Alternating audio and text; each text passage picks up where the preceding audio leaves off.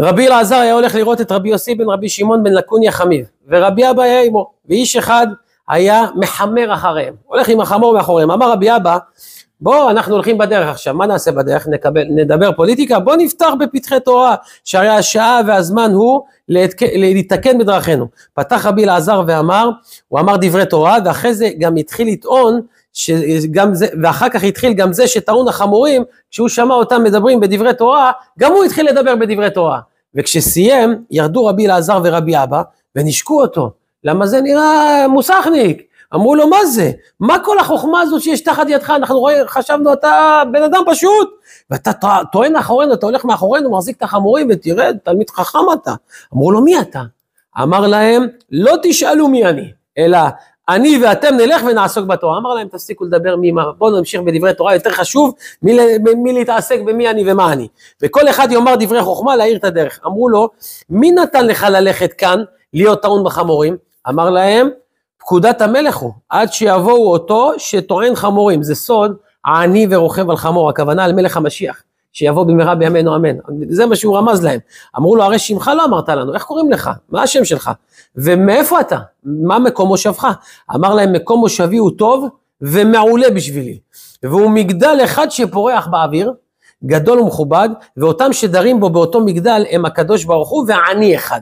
וזהו מקום בית מושבי, וגליתי משם, ועכשיו אני עובד עם חמורים, עכשיו אני מחמר, זה מה שאמר להם. אמר להם כל פלא פלאים, מה זה? התבוננו רבי אבא ורבי אלעזר בו, והטעים להם דבריו שהיו מתוקים כמן וכדבש. איזה דברים הוא מדבר, דברים גבוהים. אמרו לו, שם אביך אם תאמר, ננשק עפר רגליך. תגיד לנו, מי, איך קוראים לאבא שלך? אנחנו ננשק את הרגליים שלך. איזה בן הוא הביא לעולם, אשרי יולדתו. אמר להם, ולמה, אין, דר... ולמה, למה אתם צריכים? אין דרכי בכך להתגאות בתורה. אבל אבא שלי היה מושבו בים הגדול, והוא היה דג אחד שהיה מסובב את הים הגדול מצד זה לצד זה, והיה גדול ומכובד, וזקן ושבע ימים, עד שהיה בולע כל שאר דגי הים, ואחר כך מוציא אותם חיים וקיימים. מלאים מכל טובות העולם, והיה שט את הים ברגע אחד בחוזקו, והוציא אותי כחץ ביד איש גיבור וחזק, והחביא אותי באותו מקום שאמרתי לכם, והמגדל הפורח הזה באוויר, והוא שב למקומו ונגנז, ונגנז באותו הים. מדבר איתם דברים, מה, מה הוא רוצה? התבונן רבי אלעזר בדבריו, אמר לו, אה, אני יודע מי אתה. אתה הבן של המאור הקדוש, אתה הבן של רב אמנון הסבא, אתה הבן של אור התורה, ואתה טעון אחרינו. בכו כאחד ונשקו אותו. אומר לו זה נכון, והלכו ביחד. אמרו לו, אם נוח לפניך מורנו, להודיע לנו שמו. בוא תגיד. פתח ואמר דברי תורה. או אמרו לו, תגיד לנו את השם שלך. פתח ואמר בדברי תורה. כשסיים, נפלו רבי אלעזר ורבי אבא לפניו. נפלו על הרגליים, ובין כך ובין כך, לא ראו אותו. קמו והסתכלו לכל הצדדים, נעלם. נעלם. ישבו ובכו ולא יכלו לדבר אחד עם השני, אמרו, מה זה, מה קרה פה? אחרי שעה, אמר רבי אבא, ודאי זה ששנינו שבכל דרך שהצדיקים הולכים, ודברי תורה ביניהם, אז אותם הצדיקים של העולם ההוא באים אצלהם, בן אדם מדבר על הצדיק, הצדיק מגיע אצלו. ודאי, מי שראינו בטח זה רב אמנון הסבא. עכשיו הם הבינו שזה בכלל רב אמנונה בעצמו ולא הבן שלו כמו שחשבו מקודם. שהוא בא אלינו מהעולם הוא לגלות לנו דברים כאלה, כי דיברנו עליו, אמרנו דברים בשמו, ועד שלא נכיר אותו, הלך לו והתכסה מאיתנו, קמו, והיו רוצים לטעון את החמורים, ולא הלכו. רצו לטעון ולא הלכו, החמורים לא זזים, פחדו ועזבו את החמורים, ועד היום קוראים את המקום הזה, מקום החמורים, ככה קוראים אותם, מקום החמורים, לא יכלו לזוז. פתח רבי אלעזר ואמר, מה רב טובך אשר צפנת ליראיך, פעלת לחוסים בך נגד בני אדם. כמה הוא הטובה העליונה ויקרה, שעתיד הקדוש ברוך הוא לעשות לבני האדם, לאותם זכאים העליונים, יראי חטא שעוסקים בתורה, כשנכנסים לעולם ההוא. טובך לא כתוב, אלא רב טובך.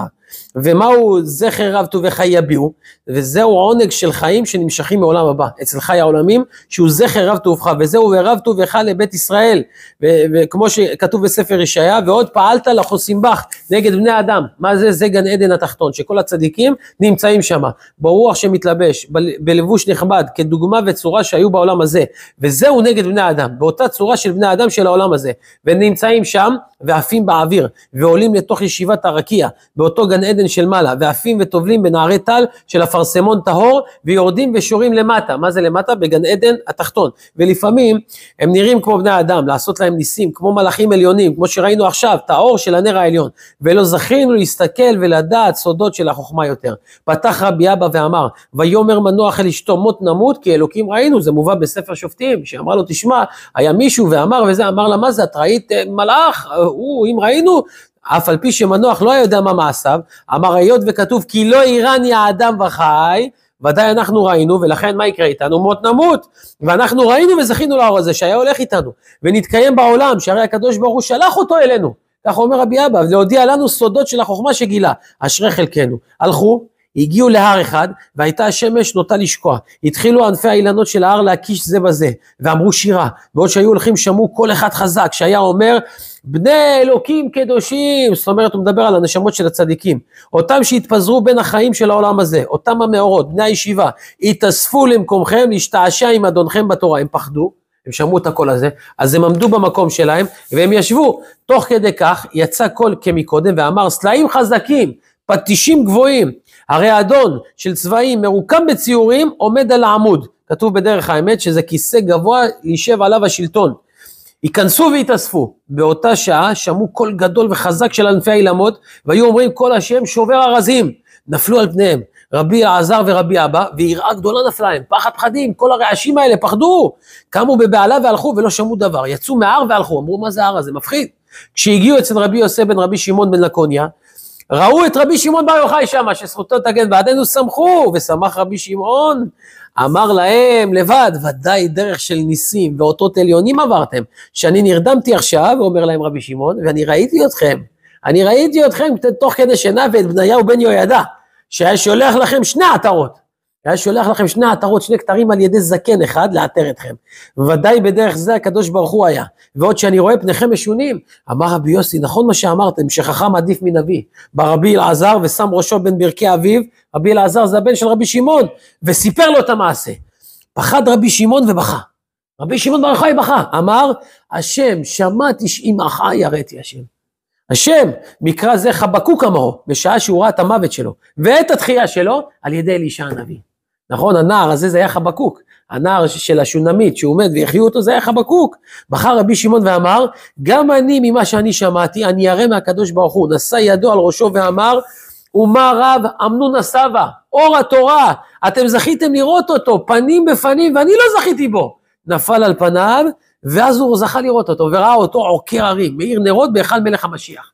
אמר לו, רבי, בעולם, בעולם ההוא תהיו שכנים לבעלי הוראה לפני הקדוש ברוך הוא. מאותו יום היה קורא לרבי אלעזר בנו ולרבי אבא פנ"י פנ"י ל, כמו שכתוב, כי ראיתי אלוהים פנים אל פנים ותנצל נפשי. ואז הוא היה קורא להם, ככה היה קורא לרבי אלעזר הבן שלו ולרבי אבא, בשם הזה שזה שם של מלאך קדוש. יהי רצון שזכות רבי שמעון בר יוחאי תגן בעדנו ובעד כל ישראל אחינו.